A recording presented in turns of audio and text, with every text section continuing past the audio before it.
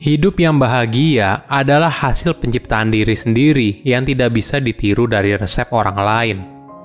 Halo semuanya, nama saya Michael. Selamat datang di channel saya, Sikutu Buku. Kali ini saya akan bahas buku Flow karya Mihaly Csikszentmihalyi.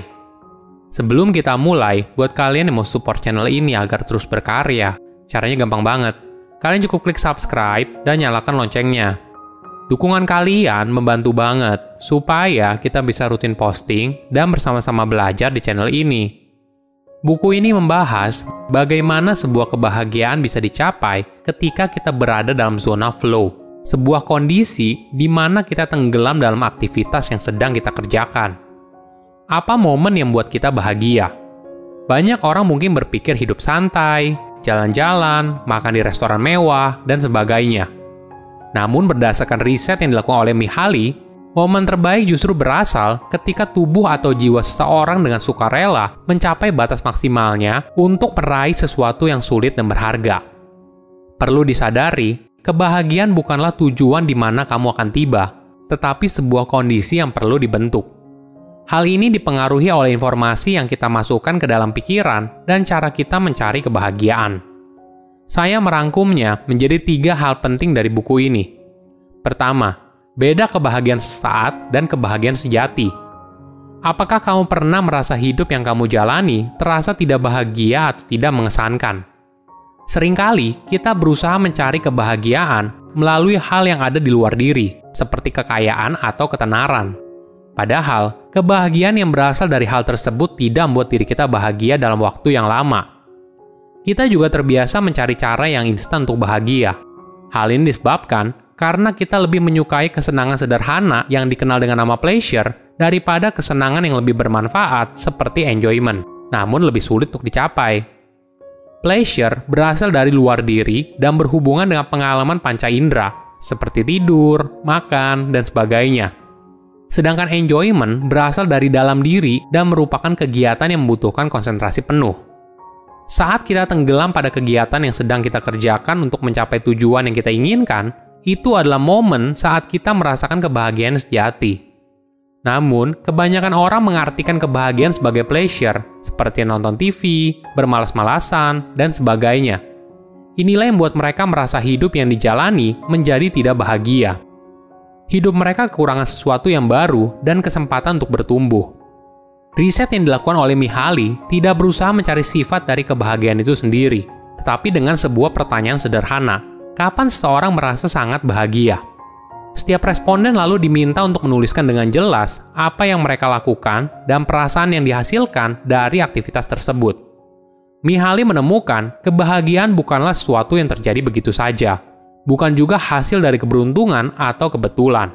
Kebahagiaan tidak tergantung dari peristiwa yang ada di luar diri, melainkan pada bagaimana kita menafsirkannya. Aktivitas yang digambarkan sebagai kegiatan dengan hasil kebahagiaan yang tinggi dikategorikan sebagai pengalaman optimal atau sederhananya disebut sebagai flow. Jadi, orang dalam kondisi flow tenggelam dalam aktivitas yang sedang mereka kerjakan. Kedua, apa itu zona flow? Untuk bisa berada dalam zona flow, ada tiga hal yang harus dimiliki. Pertama, tujuan yang realistis. Kedua, keahlian kita cocok dengan kesulitan tugas yang dihadapi. Ketiga, fokus penuh pada aktivitas tersebut. Contoh paling nyata dari flow berada pada setiap game yang bagus, khususnya game RPG.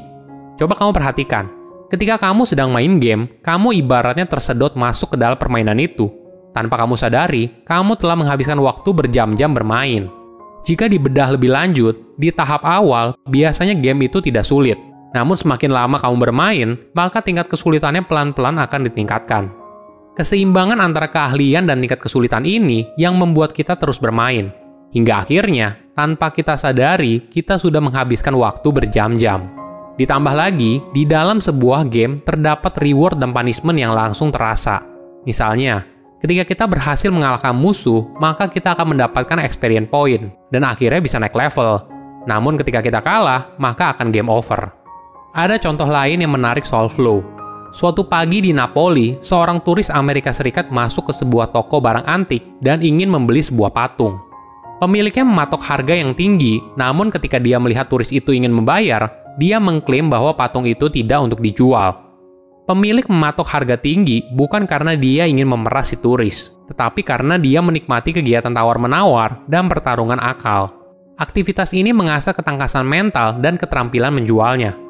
Setiap kali kita terlibat dalam aktivitas seperti ini, sesuatu yang tidak terlalu mudah atau terlalu sulit, kita cenderung memperluas batasan diri kita dan mencapai lebih banyak. Misalnya, jika kamu seorang pemula dalam permainan tenis, pertama-tama kamu akan menikmati saat mencoba memukul bola melewati net.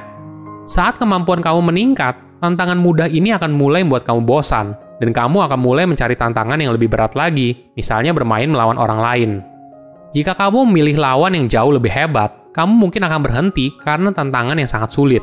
Tetapi, jika kamu memilih lawan yang sedikit lebih hebat, maka keahlian kamu akan meningkat. Ketiga, membuat pekerjaan menjadi sebuah permainan.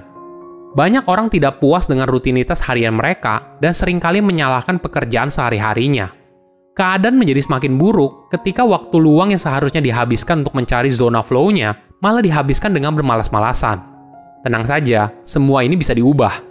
Bagaimana kalau membuat pekerjaan yang kamu jalani menjadi sebuah tantangan sehingga bisa menghasilkan zona flow-nya sendiri? Ada contoh yang menarik. Penduduk lansia yang tinggal di sebuah dusun di pegunungan Alpen Italia tidak melihat perbedaan antara pekerjaan sehari-hari dan waktu luang mereka. Setiap hari, mereka harus bangun pukul 5 pagi untuk memerah sapi, membawa tumpukan jerami bermil-mil, merawat kebun, atau memasak untuk keluarga mereka. Namun, ketika ditanya apa yang akan mereka ubah dalam hidup jika mereka kaya, mereka menjawab bahwa tidak ada yang ingin diubah. Hal ini menunjukkan kalau mayoritas dari mereka berada pada zona flow-nya. Jadi apa yang merupakan pekerjaan tidak terasa seperti beban. Sehingga hal ini lalu meningkatkan kreativitas dan konsentrasi saat bekerja. Salah satu cara untuk menciptakan zona flow saat bekerja yaitu dengan membuat reward atau penghargaan internal.